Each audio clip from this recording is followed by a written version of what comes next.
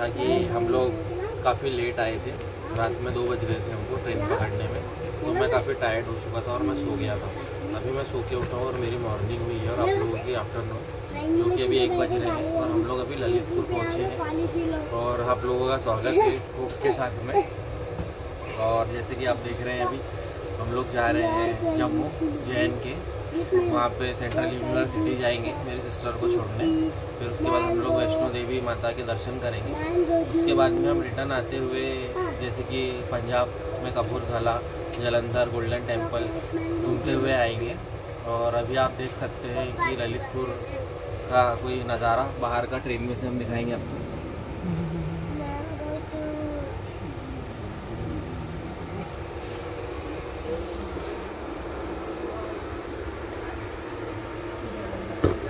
रुका ना तुम्हों का था। अरे हम लोग का यूट्यूब चैनल है ना? हाँ हाँ।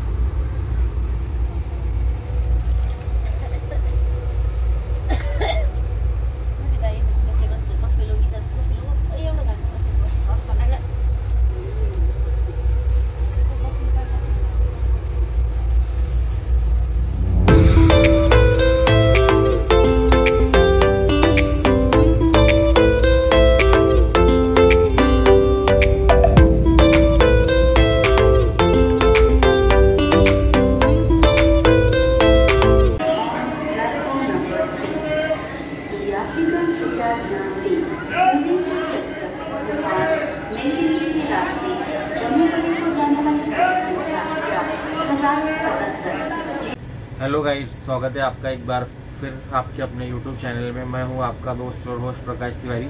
जैसे कि आपने देखा, अभी तक हम ट्रैवल करते हुए भुसावल से जम्मू के लिए निकले हैं। कल रात में दो बजे हम निकले थे और अभी दूसरा दिन हुआ है। दूसरा दिन के अभी शाम के छः बज रहे हैं और अभी भी हम जम्मू नहीं पहुँचे इस वक्त हम हैं आगरा कैंट में, आगरा के पास। अभी शाम के छः बज रहे हैं और अभी तक हम सिर्फ़ आगरा पहुँचे कल सुबह हम नौ दस के करीब जम्मू रेलवे स्टेशन उतरेंगे और हम इस ट्रेन से जा रहे हैं जिसका नाम है झेलम एक्सप्रेस।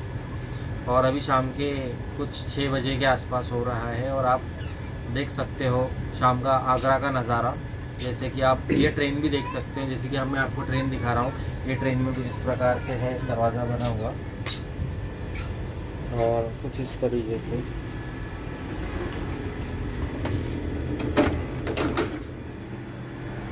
कुछ इस तरीके से ट्रेन का बाथरूम है जो कि दिया हुआ है।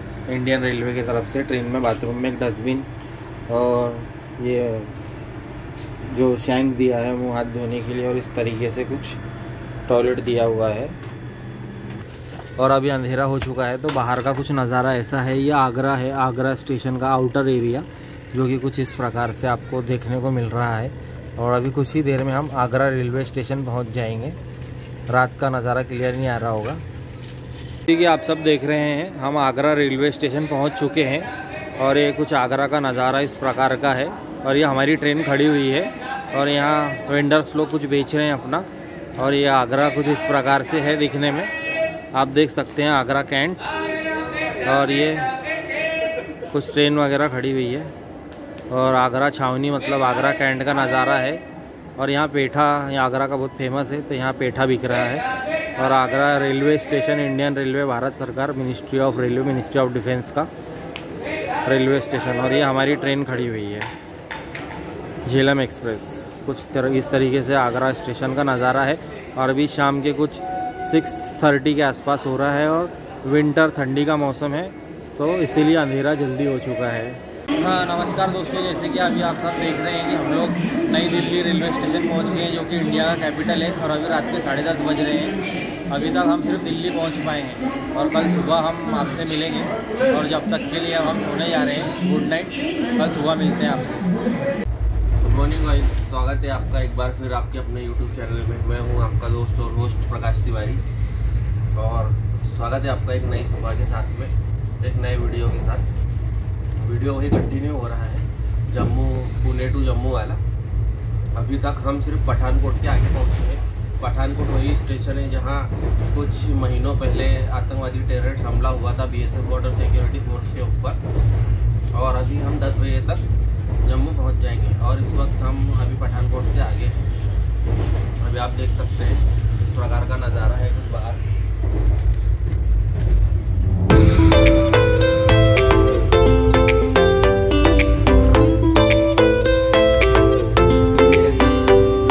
कोच अटेंडेंट है। मैकेनिक है एसी मैकेनिक रेलवे के। कुछ इस प्रकार से कोच है रेलवे का। कोच के बर्थ देख सकते हैं आप। ये सब बर्थ देख सकते हैं आप यहाँ के। ये फ़र्स्ट क्लास कोच है एसी वन का।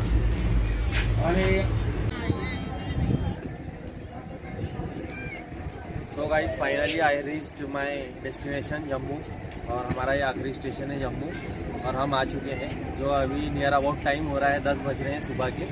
और आप देख सकते हैं कि कुछ सुबह के दस बजे नज़ारा जम्मू का ऐसा है, और हम लोग आ चुके हैं।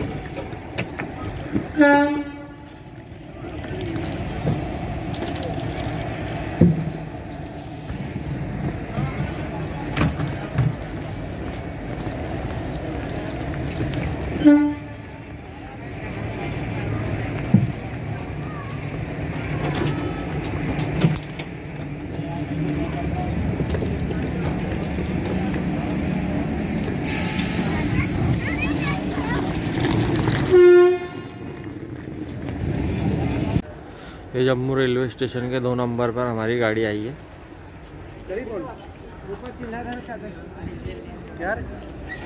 और ये बाहर जाने का रास्ता है इसे चढ़ के कुछ इस प्रकार।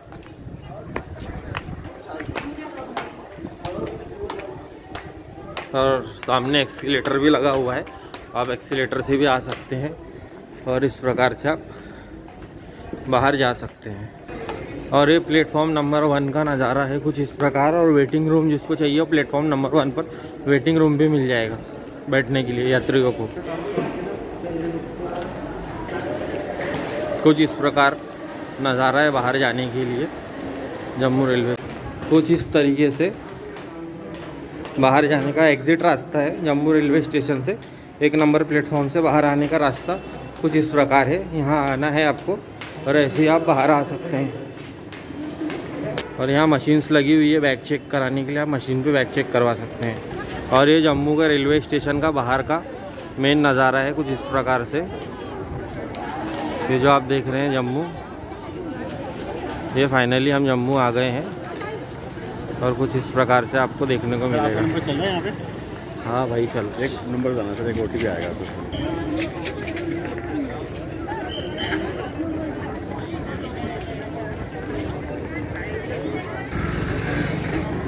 कुछ इस प्रकार से बाहर का पार्किंग का नज़ारा है और यहाँ से आपको कटरा वटरा जाने के लिए ऑटो रिक्शा मिल जाएगा।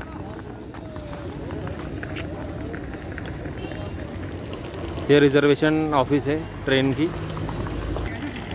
और ये पार्किंग के लिए आप पार्किंग कर सकते हो, आपकी गाड़ी पार्क कर सकते हो यहाँ पर। और इस तरीके से आपको बाहर जाना है और बाहर आपको ऑटो, टैक्सी, बस वगैरह सब मिल जाएगा। और ये सामने जम्मू का बस स्टॉप है, सरकारी bus stand, government of Jammu का।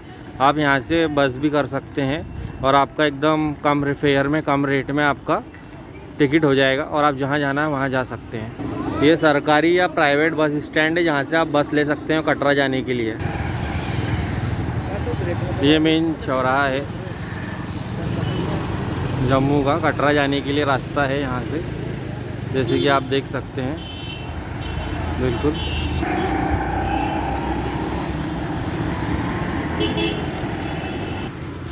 और ये होटल है, आपको सामने नज़र आएगी। कुछ इस प्रकार से। ये स्टेशन से बाहर आने का नज़ारा है, कुछ इस प्रकार से। जम्मू से स्टेशन से बाहर आते ही आपको ये रोड 200 मीटर तक पैदल जाना है, फिर आगे जाके आप टैक्सी वगैरह कर सकते हैं।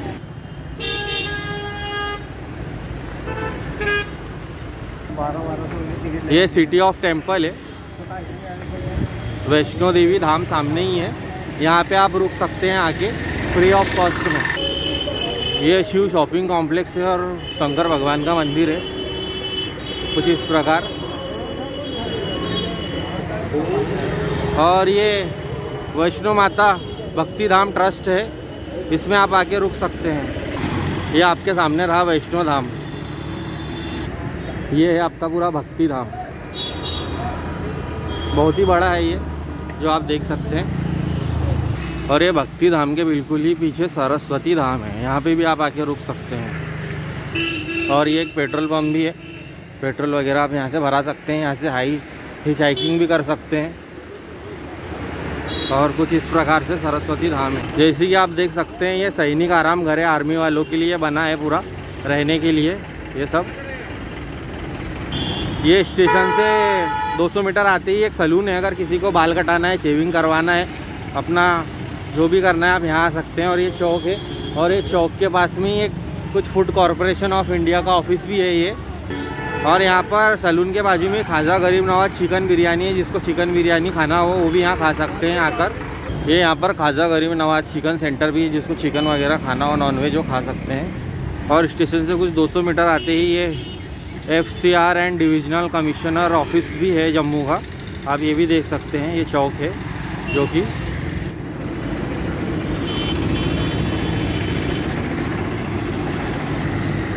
जम्मू बस स्टैंड जाने के लिए राइट में यहाँ है, ये सामने जम्मू बस स्टैंड। ये है बैक साइड जेआरएफ ऑफ़िस का और उसी के पीछे है जेएनके बैंक यहाँ से आपको आके सिम कार्ड लेना पड़ेगा। ये है J N K bank Jammu and Kashmir bank ये सामने का गेट है जे एन के बैंक का, जैसे कि आप देख सकते हैं।